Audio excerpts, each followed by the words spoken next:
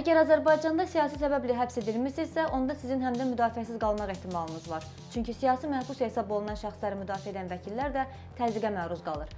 Onlar vəkillər kollegiyasından ya müvəqqəti, ya da bir dəfəlik uzaqlaşdırılır. Son 10 ildə isə bu təzyiqlər həm vəkillərə, həm də vəkil olmaq istəyənlərə qarşı intensivləşib. Bu təzyiq formaları necə başlayıb, necə dəyişib və necə artıb? Hazırda fəaliyyət göstərən vəkillər kollegiyası 2004-cü ildə formalaşdırılıb. Kollegiyadan çıxarılma ilə bağlı ilk hadisələrdən biri isə 2005-ci ildə qeydə alınıb. Bakıdakı hüquq məsləhətxanalarından birində çalışan 3 vəkil Namizəd Səfərov, Lətifə Əliyeva və Hidayət Süleymanov vəfat edən müdirlərinin əvəzinə başqa şəxs seçdiklərinə görə kollegiyadan çıxarılıb. Vəkillərin buna qanuni əsası olsa da, kollegiya bunu özünə qarşı saymazlıq kimi qəbul edib. Kollegiyadan çıxarılmanın intensivləşməsi isə 2011-ci ildən başlayıb. Xalid Bağırov, Yalçın İmanov, Nemət Kərimli və Şəhla Hümbətova və digər vəkillərin bir qismi müvəqqəti, bir qismi isə bir dəfəlik kollegiyadan uzaqlaşdırılıb. Məsələn, Xalid Bağırovun kollegiyadan xaric edilməsinə səbəb onun keçmiş siyasi məhbus Real sədri İlqar Məmmədov barədə çıxarılan hökmə etirazı olub. Çıxışım zaman demişdim ki, belə dövlətdə belə e, məhkəmə olar. Əgər Azərbaycanda ədalət məhkəməsi olsaydı, birinci instansiyanın hakimi Rəşid Hüseynov nə belə bir hökm çıxarda bilərdi, nə də hakim işləyə bilərdi. Bütün bu sözlərindən sonra Şəki Apellyasiya Məhkəməsinin hakimi e, Vəkillər Kollegiyasının rəis heyətinə müraciət elədi və onun nəticəsində də e, bildirdi ki, mən çıxışım çıxışımla Azərbaycan dövlətçiliyinə qarşı çıxış eləmişəm və e, məhkəmə hakimiyyətini nüfuzdan salmışam.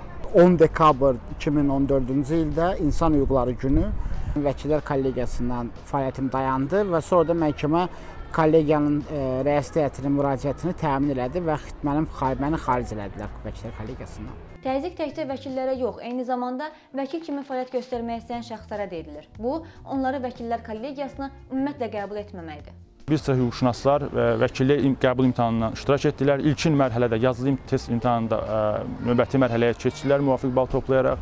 Lakin şifahi imtahan mərhələsində çox açıq-aşkar ədalətsizliklə və ayrıseçkiliklə və heç bir əsaslandırma olmadan vəkilliyin şifahi imtahan müsahibəsində vəkilliyə buraxılmadılar. Və mən də həmçinin həmin qrup hüquqşünaslarından biriyəm və biz Azərbaycan daxilində məhkəmələrdə daxili müdafiə vasitələrindən istifadə edərək Avropa məhkəməsinə müraciət e, hazırlığı ərəfəsindəyik hal-hazırda.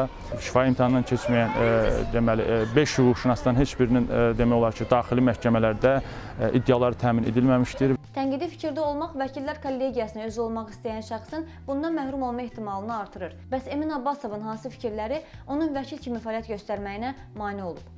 Yeni qanunvericiliyə əsasən 2018-ci ilin yanvarın 1-dən etibarən Vəkillər Kollegiyasının üzvü olmayan hüquqşünaslar məhkəmədə şəxslərin müdafiəsindən uzaqlaşdırıldı.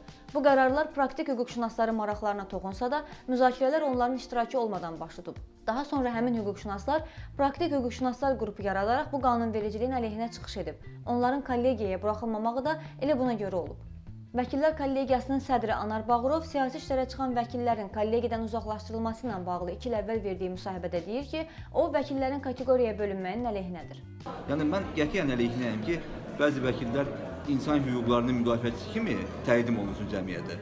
Bəziləri isə yox. Vəkillər hamısı peşəkarcasına insan hüquqları müdafiə edən şəxslərdir, peşəkarlardır. Və kollegiyanın sədri kimi bütün vəkillərə biz eyni münasibət göstəririk, eyni mövqedən yanaşırıq. Təbii ki, qanunu pozan, etik davranış qaydalarını pozan vəkillərə qarşı da qanuna uyğun şəkildə intizam tənbihləri tətbiq olunur. Nümayəndəlik institutunun ləğvini isə belə şərh edir ki, bu sadəcə vəkillərin iş yükünü qismən artırıb. Statistika varmı? Nəyinə yəni var? indiyə kimi hər 1000 məhkəmə işinə düşən vəkilin sayı və e, 2017-nin sonuna qədər hər 1000 məhkəmə işinə düşən vəkilin sayı və 2010 nümayəndəliyin ləğvindən sonra hər 1000 məhkəmə işinə düşən vəkilin sayı. Bu nümayəndəlik institutunun məhdudlaşdırılması barədə qərar qəbul olunanda onda elə bir fikirlər səslənildi ki, bəs e, çox böyük problem yaranacaq, növbələr yaranacaq. Bu gün mən açığını e, e, tam məsuliyyətlə vurğu edirəm ki, əslində vəkillər onların üzərinə düşən işləri görürlər. Yəni elə bir ajotaj görmürəm mən və elə bir növbələr də yoxdur. O ki qaldı o işlərin sayının artırılmasına, e, mən sizə deyim də təxminən hardasa vəkillərin yükü 30% artır. Ondan çox artmayıb. Vəkillərin çıxdığı işlərin sayını soruşmuram. Ümumi Mən məhkəmələrdə. məhkəmə işlərinə düşən vəkillərin e, sayını soruşdum. e, e, məhkəməyə e, məhkəmələrin real statistik göstəricilərlə mən tanış deyiləm. Aslında o məlumatlar hələ ki məndə yoxdur. Ancaq vəkillərlə bağlı məsələni deyə bilərəm ki, hardasa vəkillərin iş yükü bir 30% artıb. Avropa Məhkəməsinin Azərbaycanda bəzi vəkillərin vəkillər kollegiyasına üzvlüyünün bərpası barədə qərarı da var. Amma bu hələ icra edilməmiş qalır. Xalid Bağırov deyir ki, üzvlükdən çıxarılma barədə qərarların bir çox hallarda hüquqi əsası yoxdur və bunlar sadəcə siyasi sifarişdir.